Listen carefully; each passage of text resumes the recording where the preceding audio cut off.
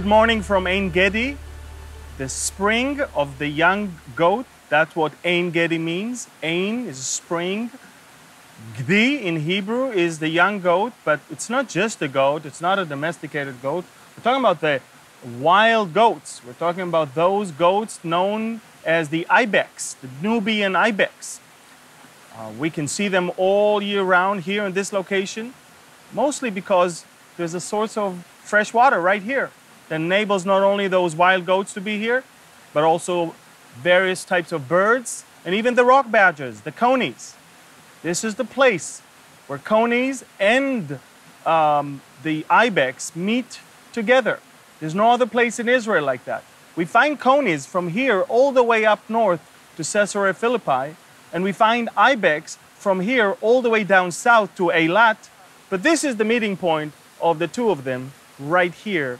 And that is interesting because in Psalm 104 it says that the high hills are for the wild goats and the rocks are the refuge for the rock badgers.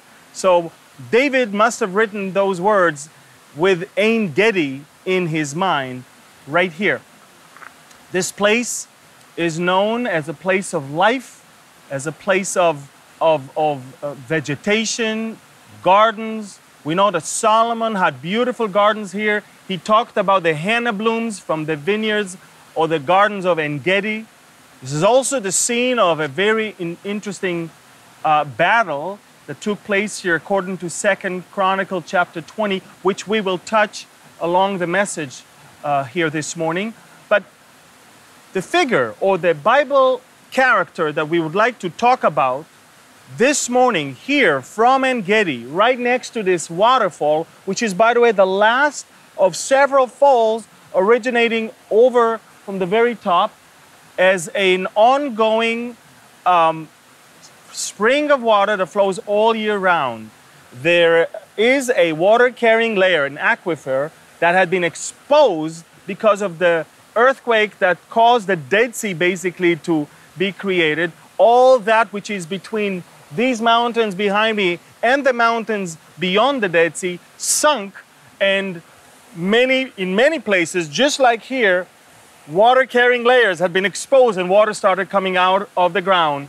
And as you can clearly see, it's all year round. Now, of course, when we have rainy season, the, the, the stream will be much stronger. When we have a summertime or drought season, it might be a little slower, but there was never in a history a time, at least not in a biblical history, a time when En Gedi was not a living source of drinking water. And here we are in this beautiful nature reserve, and we are sitting right here, and we want to talk about one of God's most favorite biblical figures, and that's David himself. We all learn that David was a young, ruddy haired uh, person. We know he was a good looking, but he was a very small, tiny figure person who definitely stood in contrast to um, King Saul, who's high, tall, above um, all the people, very good looking as well.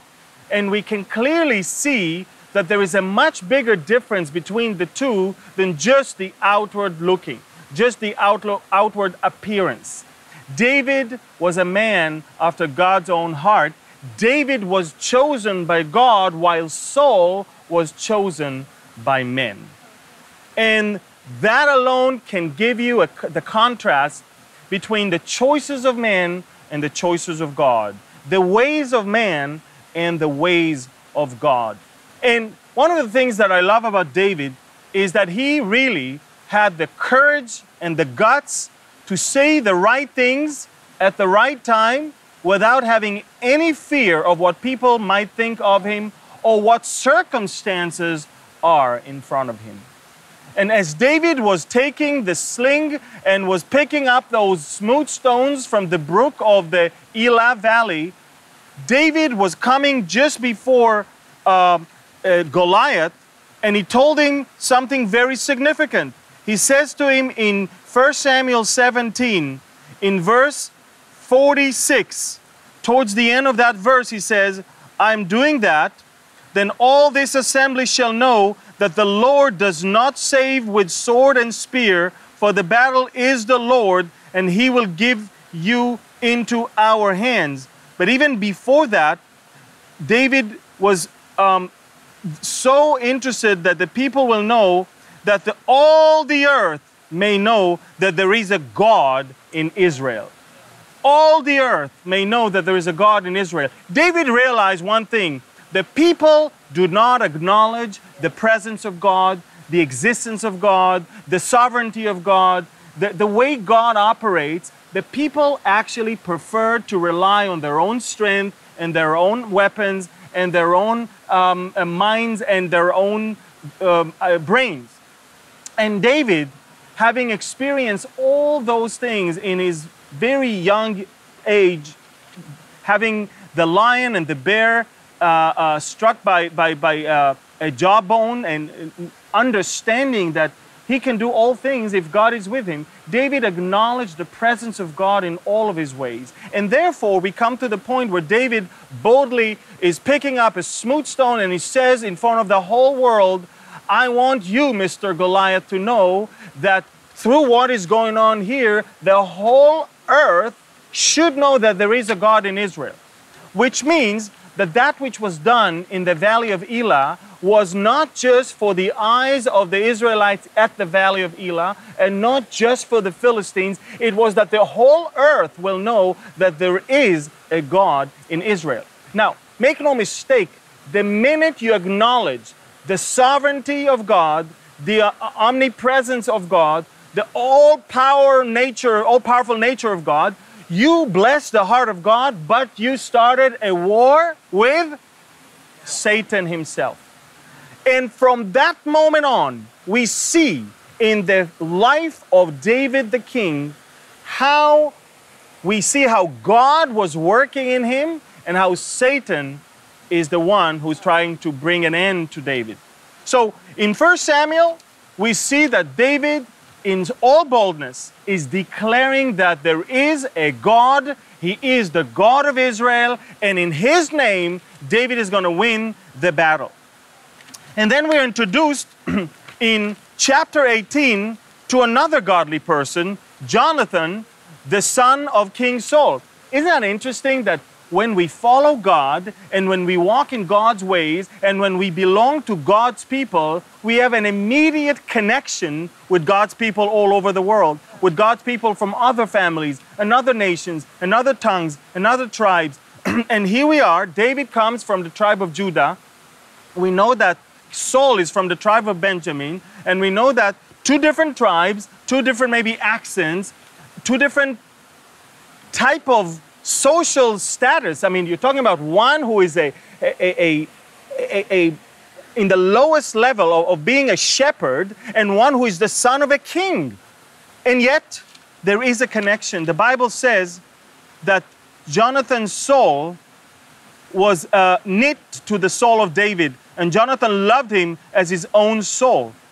So we can clearly see that even when Paul, the apostle, was traveling all around the world. And bear in mind, he was traveling mostly visiting non Jewish congregations, non Jewish um, uh, groups of people that, by all means, should not really be the biggest fans of Israel of those days. And, and, and, and yet, there was such an amazing connection. And there was such a bond. And yet, every time Paul was about to leave, he was on his knees and they were on their knees and they were praying and they were crying. We may not see each other again. But there's such an amazing bond. I, I was just in Rome and we entered that little tiny church in Rome and we share the word of God there. And we don't know them, they don't know us, but there was such an amazing spirit because because we are broadcasting on the same frequency. And that frequency is the frequency of the presence of God manifested through the presence of the Holy Spirit in that room. And David and Jonathan had that in common. You know, you can see how Jonathan was, in a way, the advocate of David in the house of Saul. And so, here we are. We clearly see that there is a great knit a great connection between two people on the spiritual level, and then there is a great animosity between the flesh and the spirit. Interestingly enough, how in verse 8 of chapter 18, the Bible says, Then Saul was very angry, and the saying displeased him, and he said, They have ascribed to David 10,000, and to me they have ascribed only thousands. Now, what more can, can he have but the kingdom? And Saul I, David from that day forward. Saul, somehow in his spirit, knew I'll never be as good as David.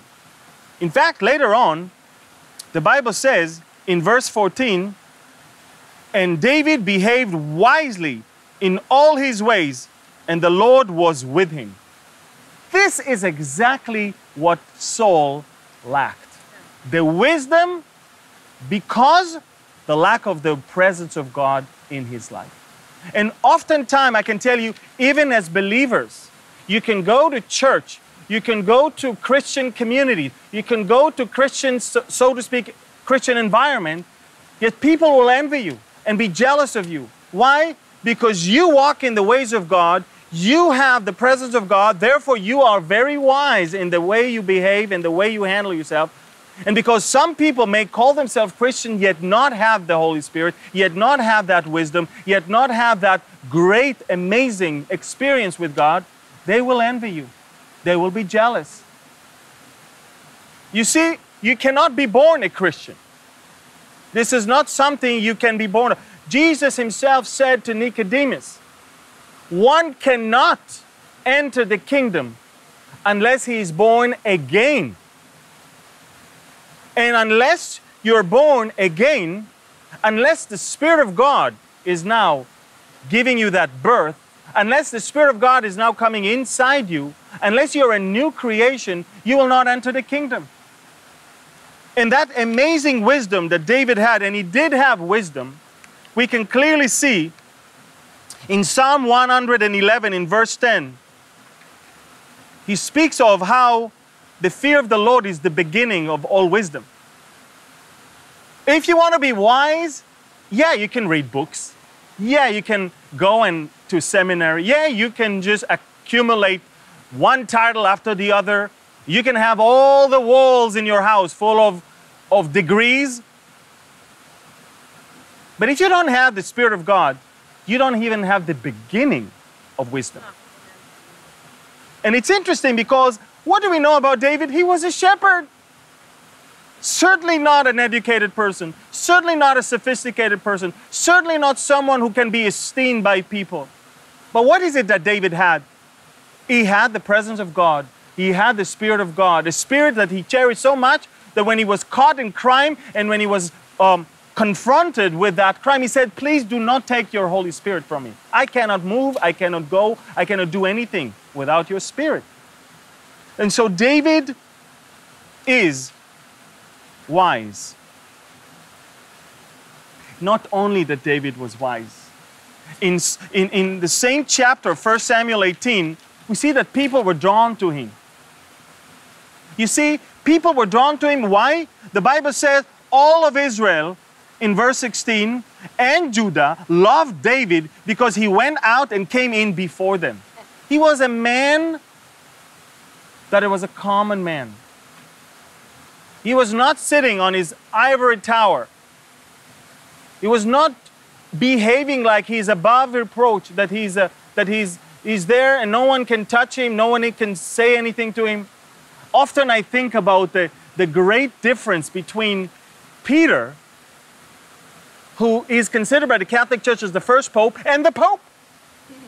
I'm thinking about a, a, an amazing fisherman from the Galilee, and I'm thinking about someone who sits in an unbelievable palace with, with art uh, pieces that worth billions of dollars. And I'm thinking to myself, wow, God wants us to have our feet on the ground. God wants us to be common people, very, very um, uh, friendly, and uh, approachable, and people who understand other people. You know, I often see pastors that you know, they build themselves a nice office that is completely detached from people. I want to tell you that David was loved by the people, and Saul could see that. So it's not just the wisdom, it's also the character of the person. It's also who he is and how he conducted himself at that time. And it's interesting because David was presented with Michal. I really don't know how you call her, and I don't care. Her name was Michal. How do you call her? Michael? Oh my. What a way to butcher a name. Well, she was Michal. And Michal is the daughter of the king, and I must say, she must have been so pretty. Why? Because when Saul was there to present his daughter, and Saul is, in, is actually inviting David to his household. In verse 18, David says to Saul, Who am I? And what is it in my life or my father's family in Israel that I should be son in law to the king? What a humble man. Remember how Moses told God, Who am I? That you want me to go and deliver the people of Israel. That's why. Exactly because you're asking, Who am I? I want you. It's not because I know who I am, I know you can use me. No, because you think you cannot be used, probably then I can use you. We have to be broken in order to be used by God. You know, Peter, throughout the time with Jesus, Jesus' uh, Peter's head was so big, thinking, you know, I know it. Caesarea Philippi, you're the Messiah, the Christ, the Son of living God, and then his head was going bigger and bigger, and then and then Jesus talks about his soon death, and, and, and Peter says, You should not talk like that, Lord. You know, suddenly he rebukes Jesus. And he, he's talking about who will sit at, next to Jesus in the kingdom and all of that. Well, Peter had to be broken in order to be able to be used. And that's what we see in John 21 a broken Peter. And Jesus asked him three times, Do you love me? And only now tend my sheep, feed my sheep. Now you can lead. When you really know you're nothing, and when you really rely all on me, I can use you now. And so David is asking, Who am I? Isn't that interesting that David shows humility when he asks, Who am I? But what was it that Saul had in his mind when he presented the daughter? He had something else in mind. The Bible says in, uh, in verse 19, but it happened at the time when Merav, Saul's daughter, should have been given to David, that she was given to Adriel, the Meholalite, as a wife. And then the Bible says in verse 21 So Saul said, I will give her to him, about Michal, yes? I will give her to him that she may be a snare to him and that the hand of the Philistines may be against him. You see, Saul was willing to give his daughter to a man he didn't like and didn't appreciate, a man he hated, so she will be a snare to him. From day one, from the very beginning, all that, all those smiles and the candy uh, uh, coated words, all of that was just to pretend that you like him. But in his mind, all that Saul wanted is that David will die, is that David will be defeated. But I want you to understand that when we move to chapter 19, we see something quite remarkable. We see a pattern in Saul's um, behavior. You see, we already talked about the fact that now, after defeating Goliath, David was asked to be part of the family. He's given the daughter of the king. He is now part of the family. We all know that from that moment on, in chapter 18, he tried to kill him. In chapter 19, he tries to kill him. And we see that we're coming to chapter 19, and, and Jonathan comes to Saul in the field, and he told David, Look, I'm going to talk to my father. Don't worry. I'll make sure that all will be resolved. And he goes to his father, and he says to him in verse 4, Let not the king sin against his servant, against David, because he was not sinned against you, and because his works have been very good towards you. For he, he, he took his life in his hand and killed the Philistines, and the Lord brought about a great deliverance for all Israel. You saw it and rejoiced. Why then you will uh, sin against innocent blood to kill David without a cause? Wow, what an amazing, sobering speech a son gives to his father. And then look what Saul said. So Saul heeded the voice of Jonathan, and Saul swore. Now, watch this. Saul swore. In the Bible, swearing, um, it's not cussing. It's actually, swearing is to be committed to the word that comes out of your mouth with all diligence and with all sincerity and with all seriousness. And then we're talking about Saul swore, as the Lord lives, he shall not be killed. As the Lord lives he shall not be killed. Isn't that interesting? Three verses later, he tried to kill him. now, why am I saying that? It's a pattern in his life.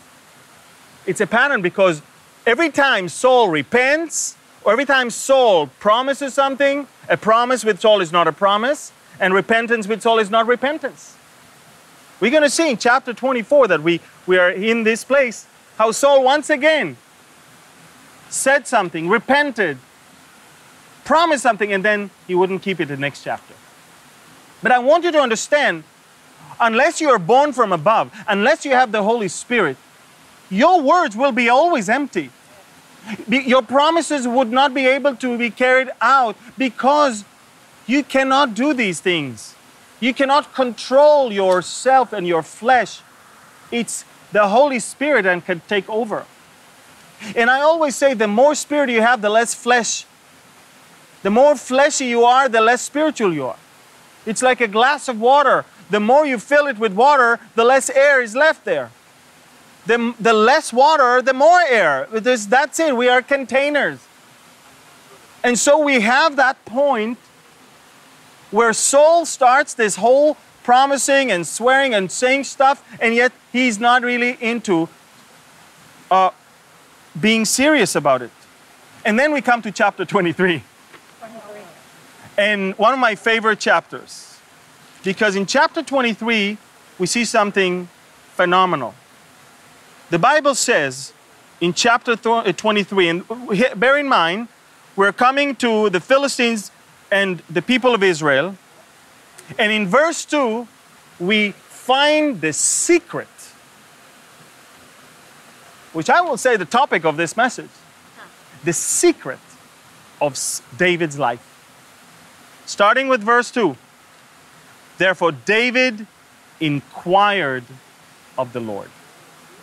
It's a very simple thing. David inquired of the Lord. This is one of my favorite chapters because literally, David not only never doubted that God is with him, he talked to him and he asked him, not, uh, you know, bless my whole life, Lord, bless my wife, bless my family, bless my church. He asked him specific things. God, it's almost like a GPS, it's almost like Siri. God, okay, should I turn right or left? And God says, right. Okay, God, now, I reached that point. Where do I go? For turn left. Thank you, Lord. And you know what? I'm driving and I don't know what the situation of traffic, so I'm using the Israeli app called um, Waze. you know it's Israeli, mate. All over the world they're using it. And I learned that Waze is always more accurate than any other uh, uh, um, report because they get live feed from drivers. So they know this road is now blocked. Whereas your GPS will tell you to use the word, this road because it's the shortest way. But Waze will tell you don't. There's a traffic jam here. So Waze will be more reliable than your regular GPS. And I kind of learned that Waze is probably the best way to, to lean, or the best thing to lean on when you get into your car. The Bible says the Lord will direct you in all your ways. Isn't that interesting? that we can ask God even a simple direction. And all you need to do is inquire of God and not be faithless and doubtful. And David was asking God, Shall I go and attack these Philistines? And the Lord said to David, Go and attack the Philistines. Isn't that beautiful? And so we move on. And, the, and David is asking him again. The Bible says, Then David inquired of the Lord once again in verse 4. Wait a minute. He just inquired of the Lord in verse 2. Yeah, but you know, the Lord is with you, and we really need to know directions.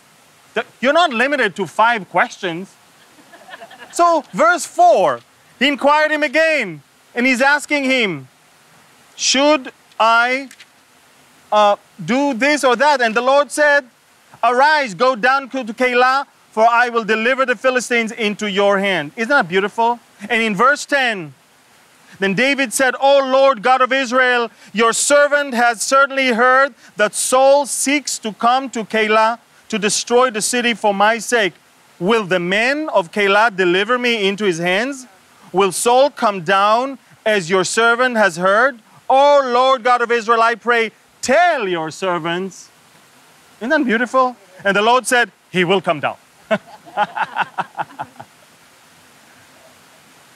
And then David said, Will the men of Keilah deliver me? And the Lord said, They will deliver you. Isn't that great? Awesome. There's no messing around. Just to the point. Will he come? Yes, he will. Will they deliver me? Yes, they will. Which, in other words, get out of here. And so we did. And now, we're in chapter 24. And now, we're in En Gedi. So we see a young man and how he moves to be a leader of now 600 guys, 600 men. And may I say to you, I have a big problem with the guys that surrounded David. They were not what we call the creme de la creme. They were not the, the best of the best. These people had their own reason why they are with David. They had a problem with the, the tax authority. they had a problem with the, uh, the police. They had a problem with their family members. A problem, problem, problem, problem, problem. And they're hanging around a man who is so far away from all of these things, who listens to the voice of God and, and he's following God's direction literally. Turn right, turn left, go up, go down, flee and go. And, and these people are with him because they know one thing it's much better to be with him than to be with the king who is seeking to kill us. So they're with him. It's probably by default. And now the Bible says that Saul is on his way. And we know already from day one that Saul always chose the best of the best, the strongest of the strongest. Saul always chose the best of the best and the, and the greatest of the greatest and the strongest of the strongest. Why? Because what was he counting on or who was he leaning on? His own strength his own mind, his own brain. So he's with 3,000, five times of what David had. 3,000 superheroes, commandos, Delta Force. And David is stuck with 600 murmuring people who have problems upon problems upon problems. But he's not really, think about it. Take a look at what the church is all about. The church is not full of people that are so great and strong and, and relying on their own strength and their own wealth. And their, the church is full of people that they, they were beaten by, by life, smitten by sin. They hit the rock bottom. These people oftentimes, because of that situation, made it to the church. I know one thing God never called me to be a pastor, He called me to, to teach. And to be a teacher is completely different. And I know one thing you better find out what your gift is, gift is and stick to it. Because if you're the wrong character and you don't have the calling to be a pastor and you want to be a pastor and you are being a pastor, you're doing a lousy job. Because that's not who you are. And I can tell you, pastor is a great title, but it bears so much responsibility, headache, and so much care and so much wisdom that you may not have. God gives everyone their own gifts. So I must confess, I don't have the gift of pastoral care. And I often travel around, I see pastors, I feel bad for them, I feel, I feel sorry for them. How can I help you? How can I encourage you? Because it's not easy. Not to mention being a pastor's wife. You know, you, you, you get everything plus. Plus him. and so I'm, I'm saying that uh, David is now here with those 600 men. And the Bible says in chapter 24, it happened that Saul had returned from following the Philistines, that he was told in saying, Take note, David is in the wilderness of En Gedi. Then Saul took 3,000 chosen men from all Israel and went to seek David and his men on the rocks of the wild goats. And this is where we are on the rocks of the wild goats. And you're going to see those wild goats. We saw them as we walk in, we will see them as we walk out. They're still around. I'm not sure if these ones are from the same time. But the, the wild goats are amazing. They can climb steep slopes without any problem, go down, go up. Unbelievable. And Saul is coming all the way to this area, knowing David is here, and now the Bible says that he went off the road to the actual water, and we know the Bible talks about the fact in verse 3. So it came to the sheepfold by the road where there was a cave, and Saul went in to attend to his needs. Oh. Coffee out? coffee beans out. I'm not sure what it was, but I know one thing. I know that Saul wanted to attend his needs and he needed some privacy here. And Saul goes to the cave, that's where I would go if I had 3,000 men looking at me.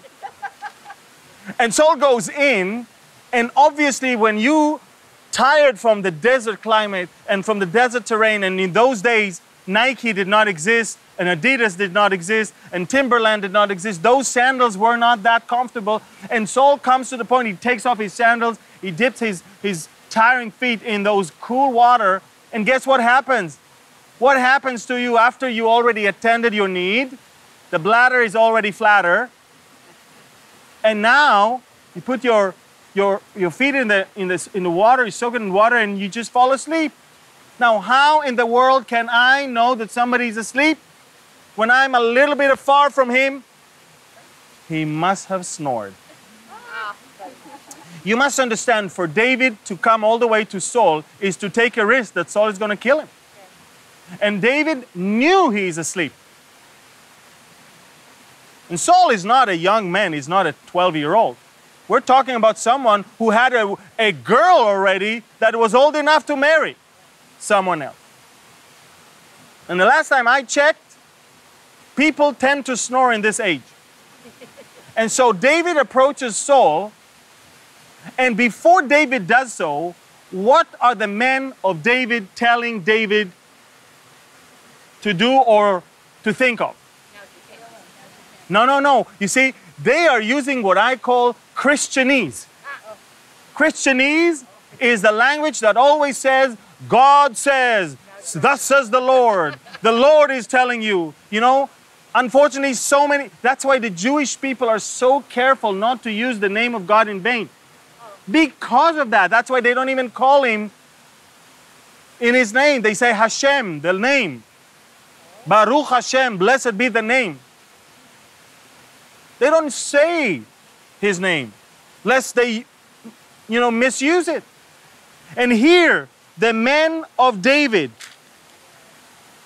are telling David, the following thing in verse 4. They told him, Behold, this is the day which the Lord said to you. they, they know it all. They already know. The Lord says to you, yeah? And then they said to him, The Lord says to you, Behold, I will deliver your enemies into your hand, that you may do to him as it seems good to you. Wow. Not only they said, the Lord said to they even quote the Lord first, firsthand, as if God audibly spoke. And you know, you want to see that? Turn on your Christian TV. It's all over. That says the Lord, that says the Lord. Every other person there is a prophet, and, and 99% of what they say never happened.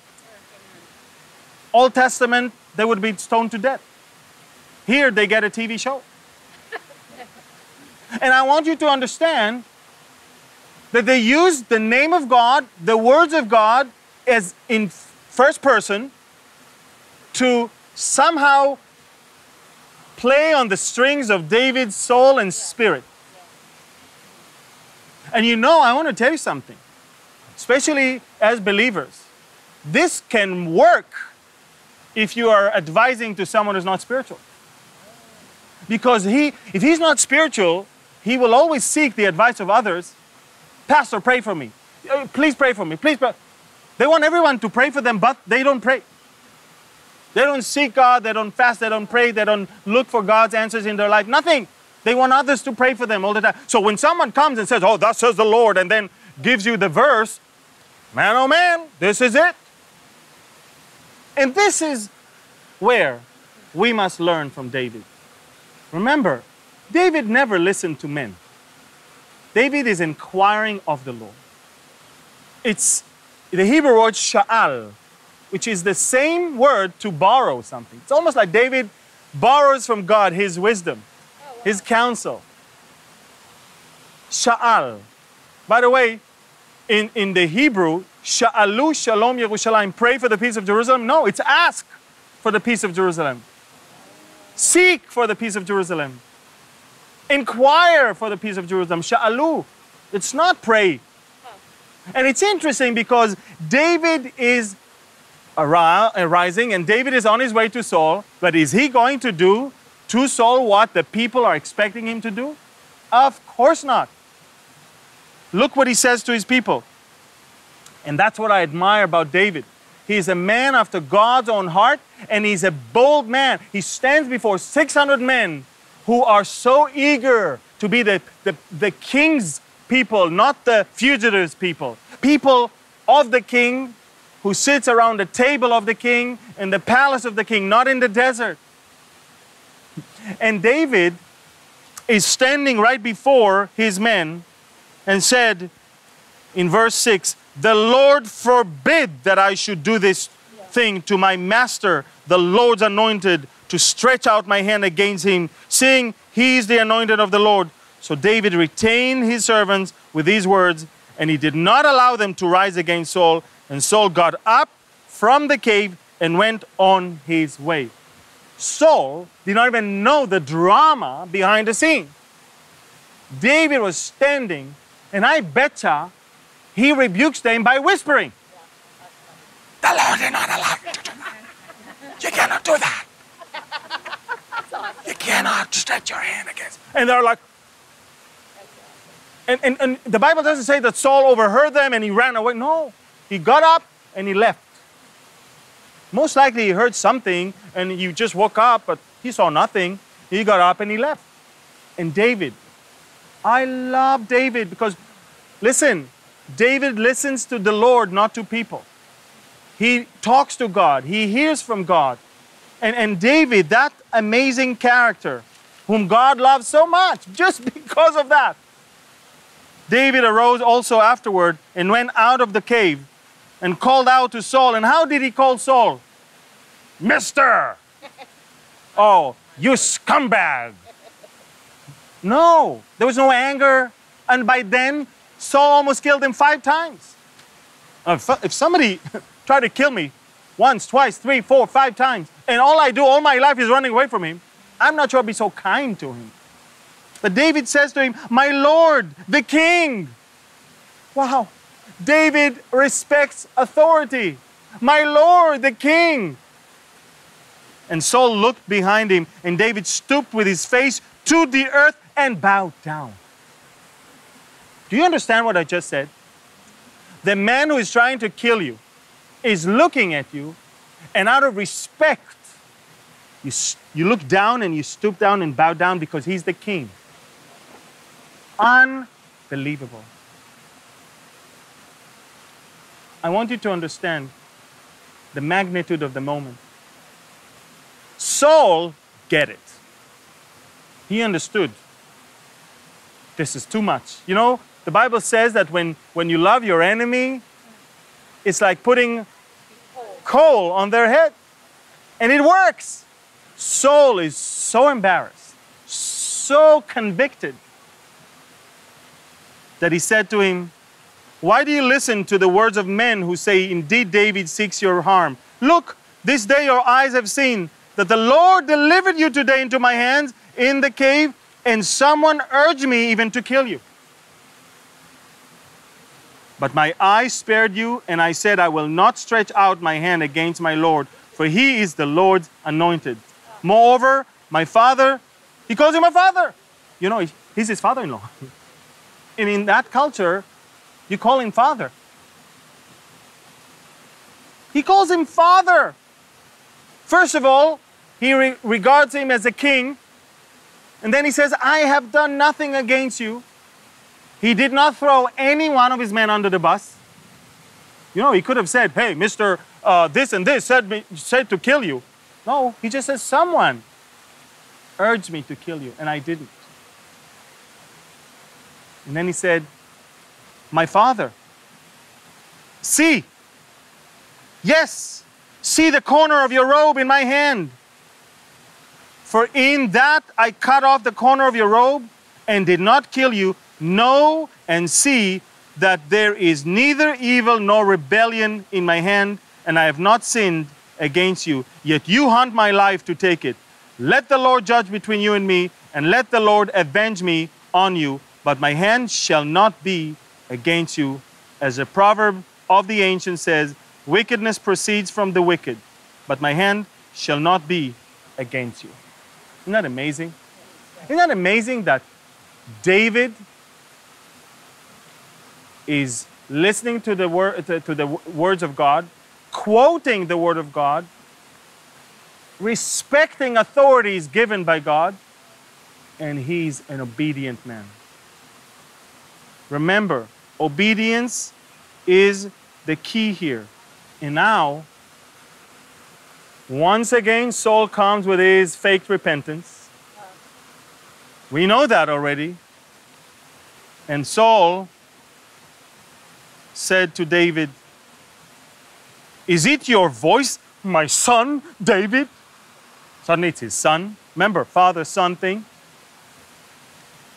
And Saul lifted up his voice and wept. And then he said to David, You are more righteous than I, for you have rewarded me with good, whereas I have rewarded you with evil. And you have shown this day how you have dealt well with me. For when the Lord delivered me into your hand, you did not kill me. For if a man finds his enemy, will he let him get away safely? Therefore, may the Lord reward you with good for what you have done to me this day. And now I know, indeed, that you surely will be the king, and that the kingdom of Israel shall be established in your hand. Therefore, swear now to me by the Lord that you will not cut off my descendants after me, and that you will not destroy my name from my father's house. Isn't that interesting? How do you know how do you know that a um, repentance is not real? You know that repentance is not real when there's condition in it. When there is, okay, but. Or say, I know you're the king. I know you'll be the, but listen, I want this, this, this, this, this, and this done. And all he cared about is his name and his legacy and his family. He didn't even care about his own soul, his own walk with the Lord.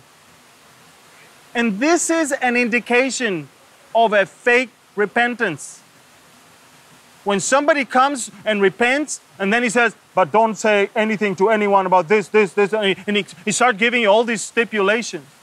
You know there's something not completed in that repentance. And the next chapter, he tries to kill him. David listens to God, Saul does not. David is longing after God's will, Saul is not. And my question to all of you this morning here, right in the cliffs of the wild goats, next to the spring of En Gedi, my question to all of you today is Do you have a personal relationship with the Lord so you can hear His voice? Now, I'm going to tell you something. This is the one major problem of most Christians around the world. They think they're saved. They think they're good Christians. They think that by doing this, this, this, and this, everything is okay. But they do not have any personal relationship with the Lord. They don't hear the Lord's voice. They don't follow the Lord's command. They don't. They just read and do stuff religiously. And I can tell you, when you know, when you're not in God's word and you don't hear the, the voice of God, then you will be taken advantage sometimes by people of your own, of family and church and friends.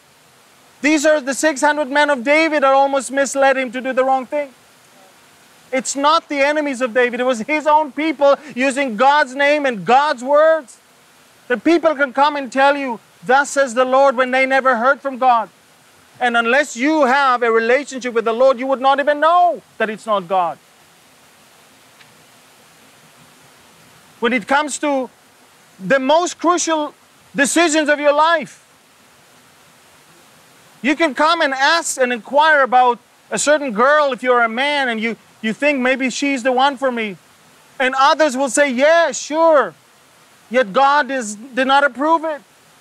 But you don't even seek and inquire of the Lord about that so important decision. You rely on your family, you rely on your friends. Maybe she's a, a hot chick Maybe she is she even, you know, she's a good Christian girl, but but God knows if she's from you. Maybe she's a great person, but not for you. Maybe God has someone else for you. And that's only one decision out of thousands of decisions that you should be making every single year of your life. And unless you hear the word and unless you understand God's word and unless you have a personal relationship with Him, you can be misled. And if there's one thing the enemy loves to do, is to bring the adversary from within. The Bible says regarding the Antichrist, yes, there will be an Antichrist, but now Behold, there are many antichrists, he says, and by this you know they will come from within you. I want to encourage all of you this morning to listen to the voice of God,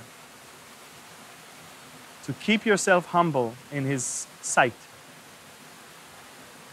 to always seek for direction, always be humble enough to know that He knows better than you and not to rely on somebody else's relationship with the Lord. It's good to get someone confirm that which you already heard from God, but it's not good to make your decisions based on that which He told you or she told you. Listen to the Lord, stay humble, stay obedient, and see the salvation of the Lord you know, in Second, in Second Chronicle chapter 20, right here, the Bible talks about En Gedi. The armies of the enemies of Israel are about to cross the sea, the Dead Sea, from Ammon, Moab, and Mount Seir, all the way to attack Judah and Jerusalem. And the king, Jehoshaphat, up on the mountains, up there, heard that those armies are coming. And behold, they come from Chatzatzon Tamar, which is En Gedi, the Bible says in Second Chronicles 20. And King Jehoshaphat was proclaiming a fast. And, and, and, and they cried out and they seek the Lord. And guess what? The Lord spoke, but you know what? He didn't speak to the king. He spoke through someone else, Jehaziel. And he says to him, Thus says the Lord, tell the king, take a group of priests, put them forward, let them say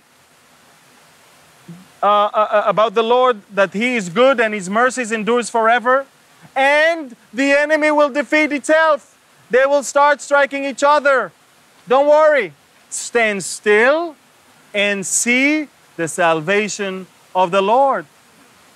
Once again, obedience of one king. Once again, someone who listens to the Lord. Once again, someone who understands the importance of seeking God, listening to God, getting the direction from God.